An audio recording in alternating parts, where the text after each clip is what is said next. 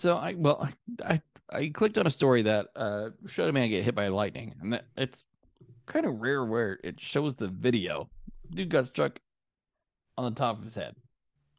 Well, No, So- maybe it's not. Maybe no, maybe it's not funny or, or noteworthy. But I I'm telling you, where was he? it looks like this this guy.